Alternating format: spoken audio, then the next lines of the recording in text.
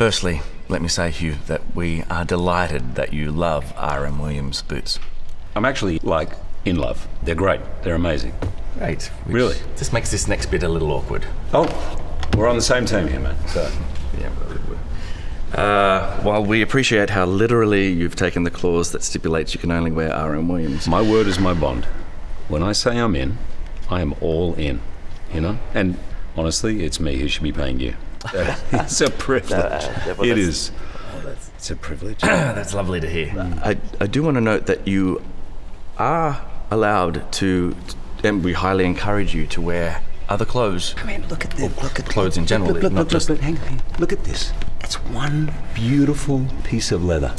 Beautiful stitching, and they're comfortable. I mean, the balls of my feet just feel like they've died and were widely mourned and just went to ball heaven, if you know what I mean. You know? Seriously, it's, it's changed my life. 88 handmade processes, but I think you may be missing the point. Oh, no, no, I, I hear you.